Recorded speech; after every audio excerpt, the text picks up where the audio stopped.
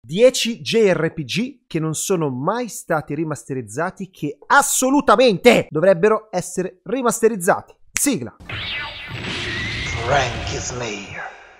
Bentrovati al vostro Frankie di quartiere. Prima di cominciare vi introduco lo sponsor di questo video, Black Clover Mobile. JRPG free to play uscito da un paio di mesetti e disponibile per Android e iOS ne ho parlato recentemente in un mio video dove l'ho provato. Il gioco ripercorre tappa per tappa tutta la storia dell'anime di Black Clover, per cui è consigliato sia a chi è già fan sia a chi non lo conosce e lo vuole conoscere, perché la storia verrà raccontata dall'inizio. Per essere un gioco mobile graficamente è davvero accattivante. Il punto forte di questo gioco è senz'altro il suo battle system a turni, nel quale potremo utilizzare fino a 4 personaggi contemporaneamente, schierati a coppie, infatti avranno anche la possibilità di utilizzare delle abilità combinate. Il battle system risulta molto strategico e utilizzare le skill nel giusto ordine sarà la chiave per sconfiggere i vostri nemici. È il gioco perfetto per quando non avete abbastanza tempo per accendere la console, ma comunque avete qualche mezz'ora di tempo da dedicare a qualcosa. Essendo free to play il gioco è gratuito, pertanto provarlo non vi costa nulla. Ragazzi, parlando un po' ultimamente di, di, questi titoli nella super classifica di UFU, dove 512 JRPG si sono sfidati per decretare un singolo re, ho riflettuto che molti di questi giochi purtroppo stanno svanendo nel ricordo collettivo perché la memoria non, non viene tenuta viva da chi dovrebbe almeno almeno rimasterizzarli per PlayStation 4, PlayStation 5 e Switch. E quindi ho pensato di stilare una piccola classifica dove in realtà ragazzi non c'è un ordine preciso, sono più o meno tutti allo stesso livello, una classifica di 10 titoli che assolutamente dovrebbero essere rimasterizzati e anche per ricordarvi che insomma, visto che probabilmente questi titoli non sono stati rimasterizzati e mai lo saranno, trovate il modo di giocarli. Cominciamo!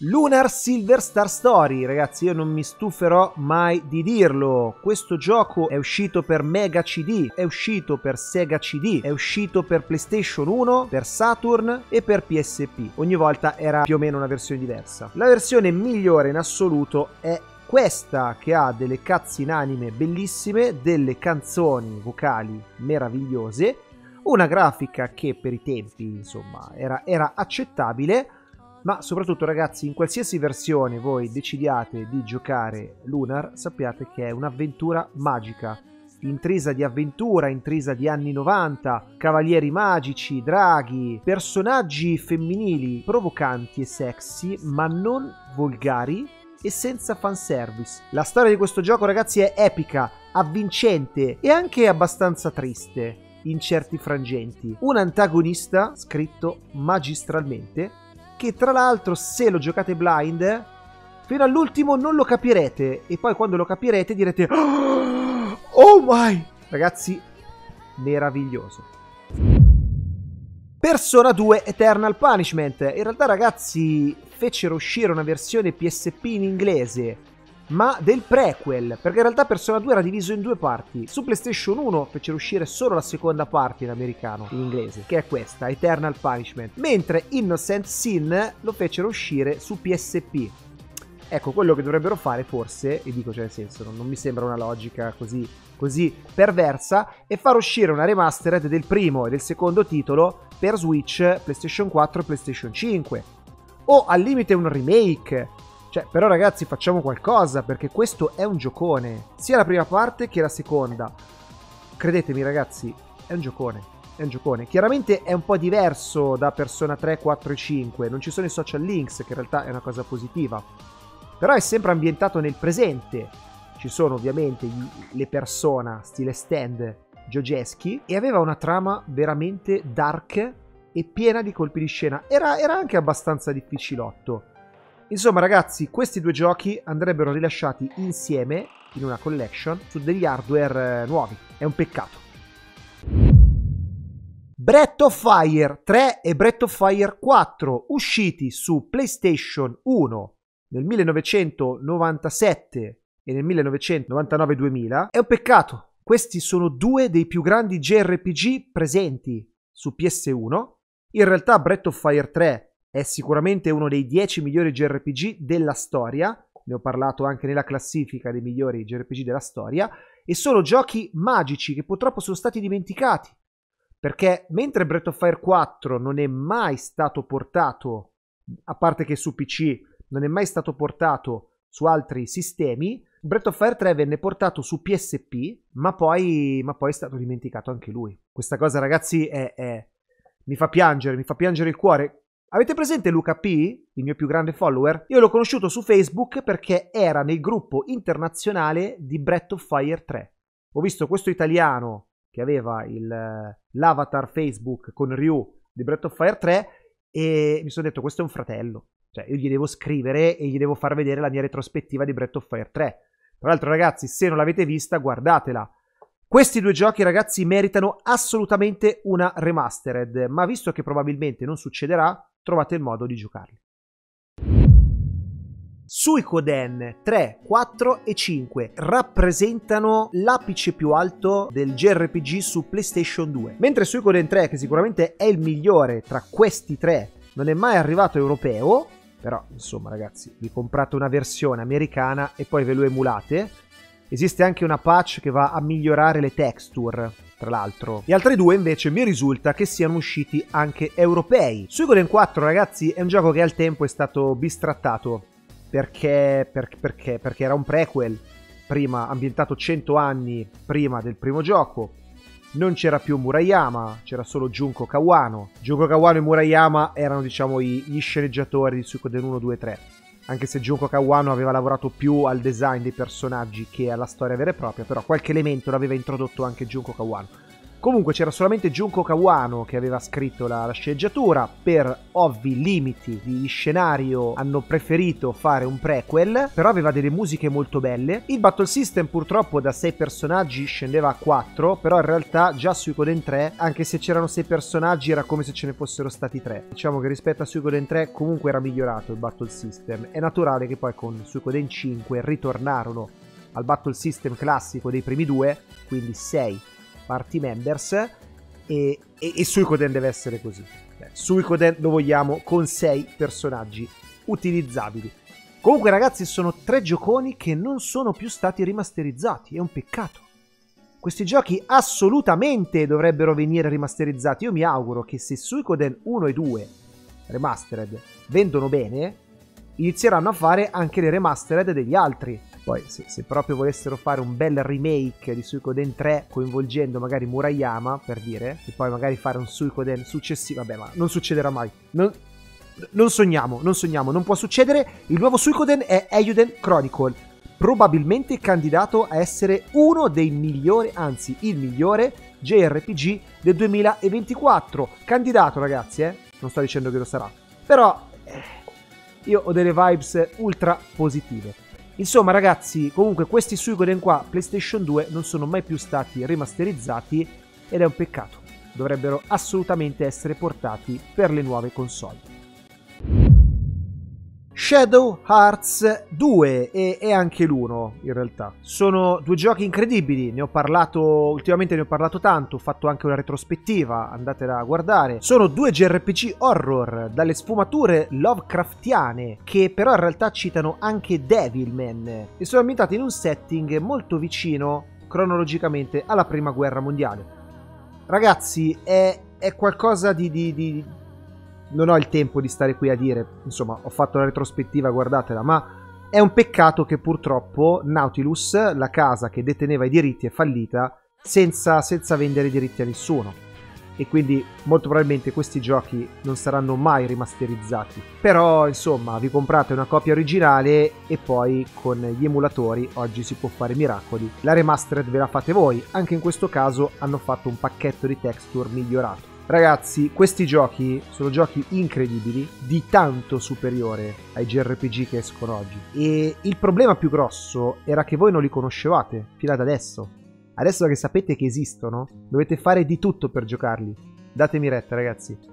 La vostra scala di valore, di giudizio dei JRPG cambierà radicalmente dopo aver giocato questi titoli non si è capito perché Bandai Namco non voglia rimasterizzare i tre Xenosaga. Ne ho parlato a lungo di questa saga. Ovviamente dopo che Takahashi e quasi tutto il team che lavorò su Xenogears e Chrono Cross lasciarono di botto Squaresoft stile colpo di stato, vennero acquistati da Namco che li mise a lavoro su questo progetto mastodontico Dovevano essere 6 JRPG a coprire un arco di tempo molto lungo che parlasse di questa storia incredibile. Fondamentalmente riciclarono il primo episodio della timeline di Xenogears per poi insomma creare una sorta di nuovo universo che però era molto legato a quello di Xenogears.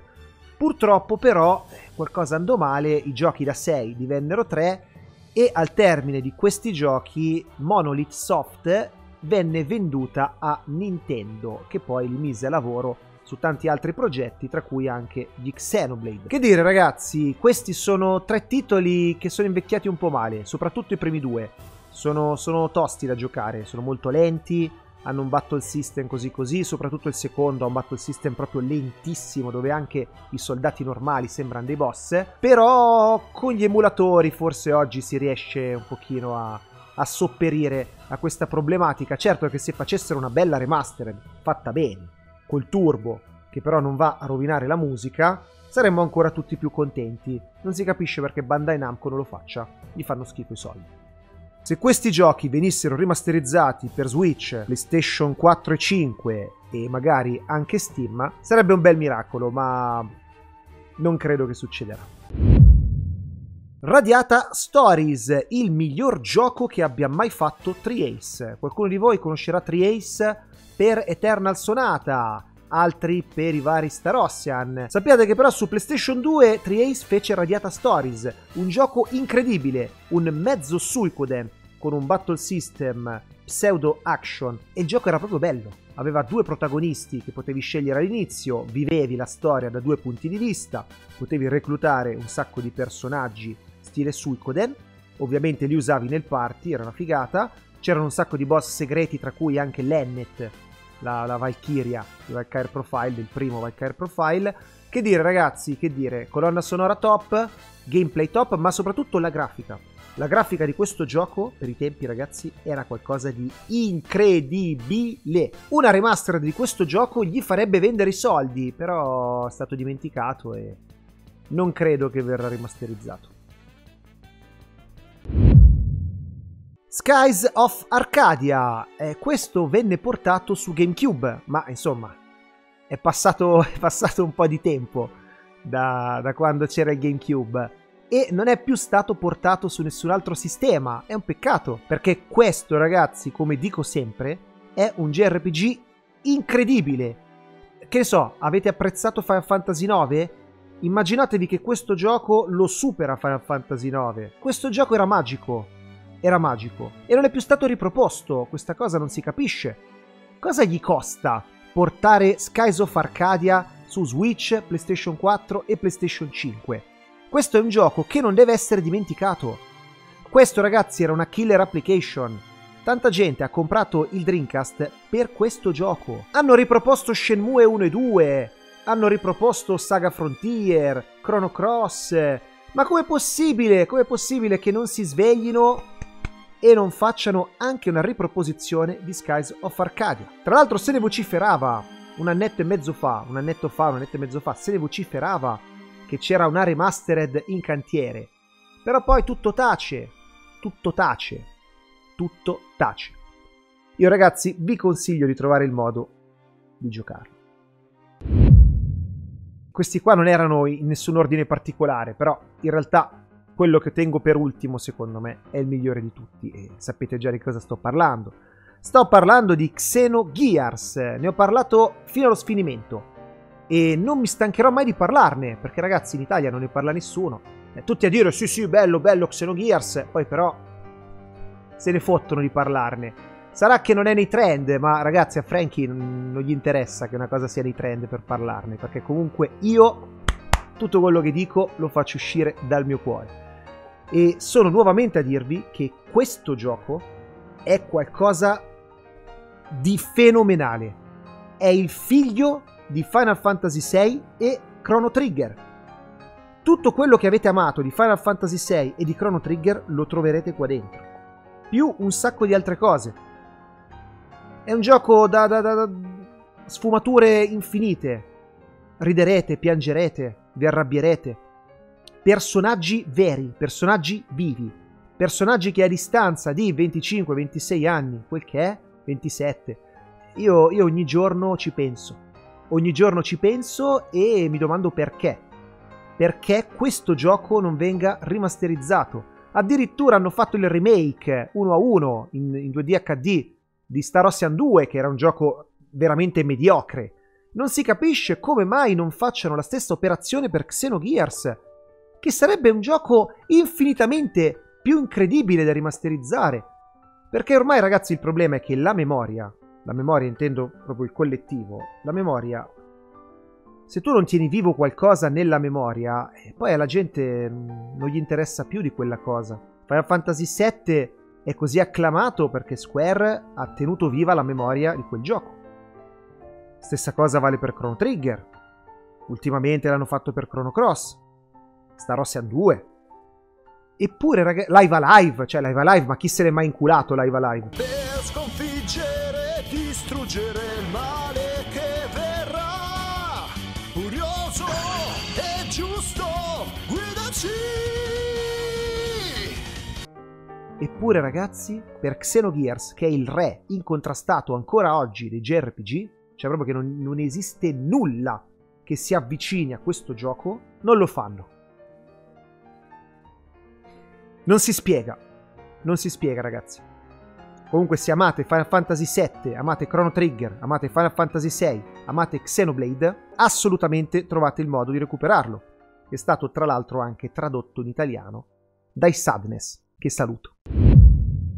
Se apprezzate il mio canale, se apprezzate quello che faccio, fatemelo sapere con un commento, perché ragazzi non c'è altro modo di misurare se questi video che faccio vi piacciono, se non con un like e un commento. Sappiate, lo dico a tutti gli amici che guardano i miei video e non commentano mai, non lasciano mai like, che se io non ho modo, non ho riscontro di, di vedere che questi video vengono apprezzati poi non li faccio più, sono praticamente rimasto l'unico in Italia che fa video parlando delle vecchie glorie del passato che le stesse compagnie a cui hanno dato i Natali stanno cercando di fare di tutto per farli dimenticare. E io ragazzi non voglio, ma sapete perché? Mica è un problema mio.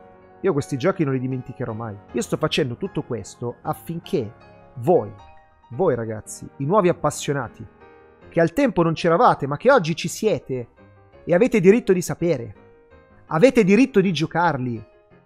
Avete diritto, quando parlate con qualcuno che Dragon Quest 11 o Persona 5 sono i migliori JRPG della storia, avete diritto a sapere che un po' di anni fa erano usciti giochi che stavano sopra a questi giochi, che erano incredibili, incredibili, e ancora oggi sono incredibili. Ed è giusto ragazzi che voi li giochiate. Quindi se apprezzate quello che faccio, fatemelo sapere con un commento. Se poi volete anche offrire un caffè al canale, ragazzi, eh, troverete il link in descrizione e sappiate che ve ne sarò eternamente riconoscente. Ragazzi, noi ci vediamo al prossimo video. A Baio!